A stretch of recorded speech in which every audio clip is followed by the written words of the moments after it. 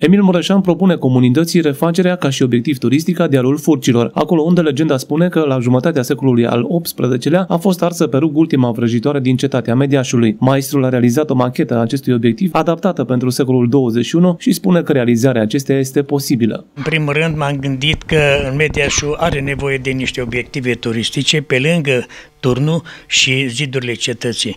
Uh, anul acesta s-au renovat aceste turnuri și ziduri care dau un aspect deosebit orașului. Uh, având în vedere că din, uh, din motive diferite nu, nu mai există în media și industria pe care am avut-o, care erau cu acele uh, turnuri uh, și hornuri care erau uh, celebre în media față de, de locuitorii care au Mediașul, m-am gândit că ar fi bine ca să căutăm niște obiective turistici care au existat sute de ani în urmă și care au făcut senzație în oraș. Sigur că ideea asta mi-a venit după uh, o uh, descriere foarte interesantă uh, de George Togan, istoricul orașului Mediaș, care uh, cartea uh, Mediașul romanțat.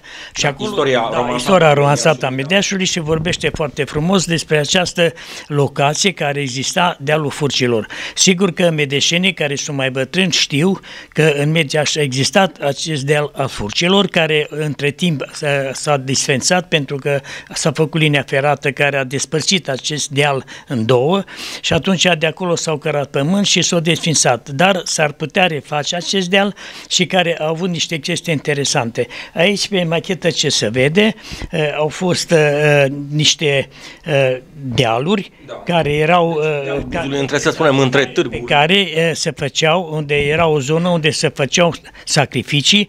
Uh, în primul rând se făceau uh, osindițe la moarte, care erau atunci criminal de criminal și ho și bandiți. La fel, aceste vrăjitoare care erau uh, așa un fel de, de gen ocult și care făceau zânzane între oameni și care erau condamnate la moarte și spunea în carte că erau uh, în acest lac erau sacrificate, întâi înecate și după aceea erau agăsate în aceste furci care Țepele, da, erau sau? puse pe furci ca să le vadă oamenii și să bagă, să, sper, să sperie oamenii să nu mai facă, bineînțeles, crime și de-astea.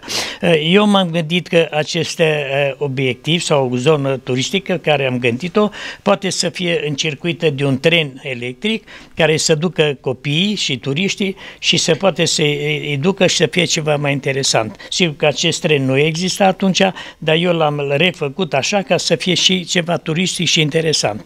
Să spunem mai da. mai puțin, ar fi zona uh, Târgu Porcilor spre Panai Cerna, cartierul automecanică astăzi. Da. Acela este dealul da. Buzului. El a fost dealul, dealul Furcilor, a fost acolo unde astăzi este o școală numărul, nu știu ce număr are școala, de la școala de aviație, acolo în zona aia era dealul Furcilor, unde, se, școala... da, unde se, se petreceau aceste de lucruri deosebite.